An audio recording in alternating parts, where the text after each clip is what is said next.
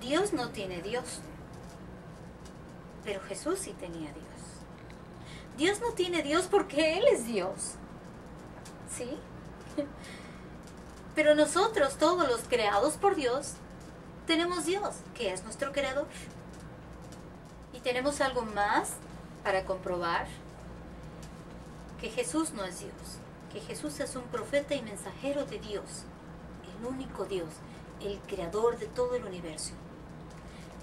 Que Jesús fue creado por el creador, porque toda la creación le pertenece al único, al creador. Dice, Dios es todopoderoso, pero Jesús no. Y les vamos a explicar por qué. Cuando Jesús realizaba sus milagros, admitía que su poder no era proveniente de él, sino venido de Dios. Y él dijo en Juan 5, 19, ciertamente os digo a vosotros, el Hijo no puede hacer nada por sí mismo, excepto lo que el Padre le permita. Dios lo sabe todo, pero Jesús no.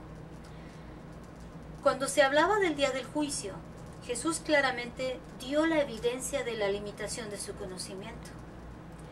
Cuando dijo, pero acerca del día y de la hora, no hay hombre que sepa, ni siquiera los ángeles que están en los cielos, ni el Hijo, lenguaje metafórico, solo el Padre.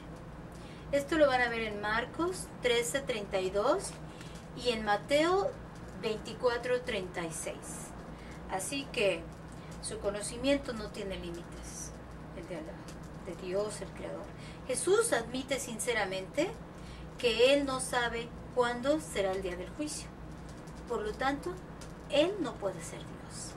Y el milagro que Jesús realizaba, primero pedía a Dios. Se dirigía al cielo y decía, oh Dios. Para mostrar, para dar una prueba de que Dios existe, de que el poder viene de Él. Pero no, ustedes lo agarraron como Dios. ¿Por qué? Como un ser supremo. Es un, es un ser magnífico, como todos los profetas. Amamos a todos ellos y los reconocemos a todos como profetas.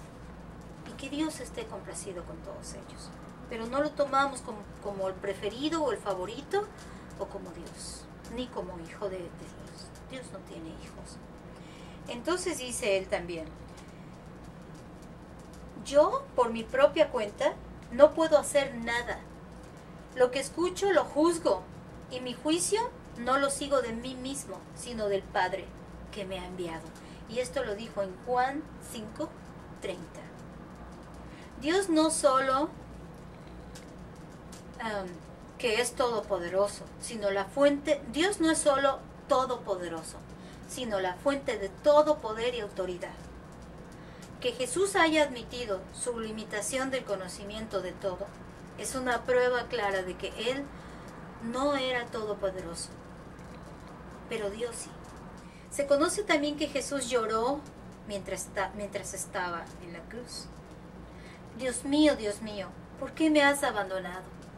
Y que esto lo dice en Mateo 27, 46.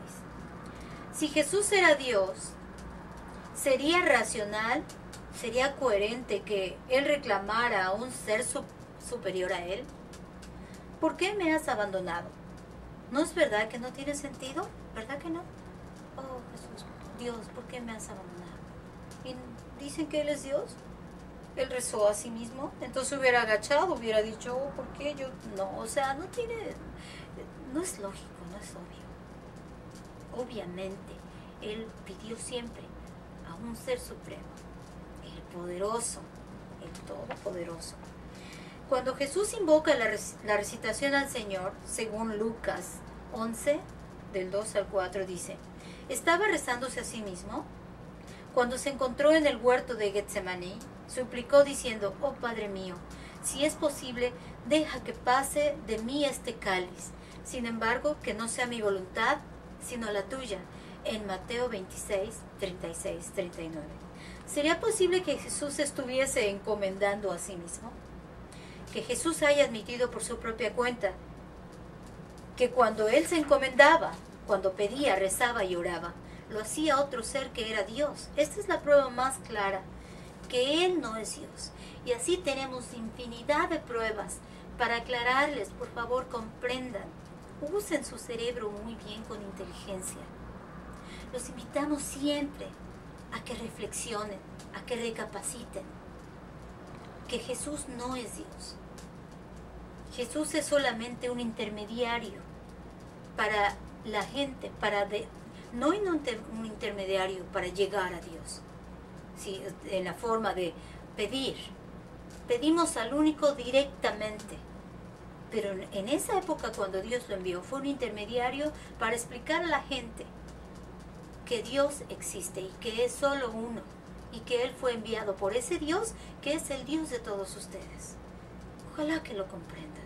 Es bien importante porque de esta manera cuando ustedes dicen, oh, que Dios es solo uno, el Dios, el creador del universo entero, créanme que estarán luchando no solamente por hacer buenas acciones y dar gusto a Dios, dar el, el crédito a Dios, la alabanza al único Dios, sino para un día tener la esperanza de alcanzar el paraíso, el reino de los cielos, que todos los profetas lo han ofrecido si creen en el único Dios y, hacen las acciones.